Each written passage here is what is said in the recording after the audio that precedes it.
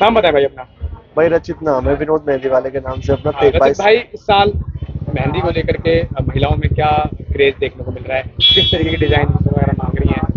भाई आजकल डिज़ाइन नए नए डिज़ाइन आते हैं। आजकल ऑनलाइन इतना सिस्टम हो गया है तो काम भी इधर उधर बढ़ जाता है और डिज़ाइन भी बहुत सारे होते हैं डिमांड्स बहुत सारी होती हैं तो उनकी जैसी रिक्वायरमेंट होती है वो सारे डिज़ाइन पूरे करते हैं। तो मेहंदी लगवाने का जो क्रेज है वो चीज़ इसमें कोई कोई साइड इफ़ेक्ट नहीं होता। कलर अच्छा आता है और लोग इसे बहुत पसंद करते हैं। हाँ। जी। अच्छा कीमतों की अगर बात करें पिछले साल के मुताबिक इस साल कुछ महँगा हुआ है मेहंदी लगाने का देखो जैसा कि जैसे पिछली बार कुछ जो रेट थे वो समथिंग सेम रेट है इस बार भी। भीड़ है इस बार? आ रही है महिलाएँ आपके पास? देखो काम है ना पहले एक सदर बाज़ार होता था। अब हर गली अली हर नुक्कड़ में हर चीज़ हर, हर चीज़ अवेलेबल होती है। तो काम बढ़ जाता है पहले की कितने दिन पहले से इस करवा चौथ को लेकर के मेहंदी लगवाने के लिए आने लगती है महिला और वैसे त्योहार का सीज़न है।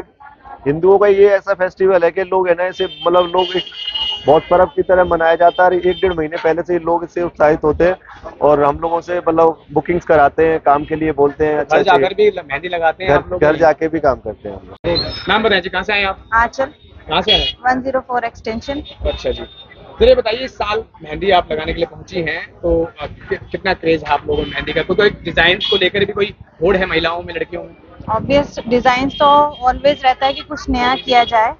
जैसे कि मैंने इस बार किया है, थोड़ा सा नया किया है पोर्ट्रेट मोड में किया है मैंने। ऑलवेज रहता है कि कुछ नया किया जाए लेडीज़ के अंदर एक क्रेज ऑलवेज रहता है।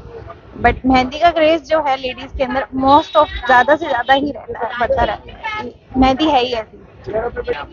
बिल्कुल। और कितने दिन पहले करते थे? मेहंदी लगाने का मन बना लेते हैं आप लोग। अबाउट टाइमिंग का डिपेंड करता है कि यहाँ पर जैसे भीड़ भाड़ ज़्यादा होगी तो दो दिन पहले भी आ जाते हैं लगवाने। अदरवाइज़ टाइमिंग अपने घर की भी एडजस्ट करनी पड़ती है। देन फिर हम लोग एक दिन पहले आते हैं अगर नहीं एडजस्ट हो पाता तो। नाम बताएँगे अपना। मेरा नाम राजवीर है। कहाँ से आए हैं मैं सेक्टर सत्तर गुड़गांव से ही सेक्टर सेवेंटी से आए आप? काफ़ी दूर से आए इस बार आप मेहंदी लगाने के लिए पहुँचे, कोई क्रेज है मेहंदी के डिज़ाइन को लेकर के? कोई होड़ है महिलाओं में, लड़कियों में, आप लोगों में? ऑफ़ कोर्स है, मेहंदी के डिज़ाइन को लेके तो हमेशा ही क्रेज होता है, सबको होता है स्पेशली लड़कियों को तो ज़्यादा ही होता है। चाहे वो मैरिड हो या अनमैरिड हो, मेहंदी का क्रेज तो सबको ही होता है। अम्मी मेरी नीस है, वो छोटी सी है, एक आठ, नौ साल की।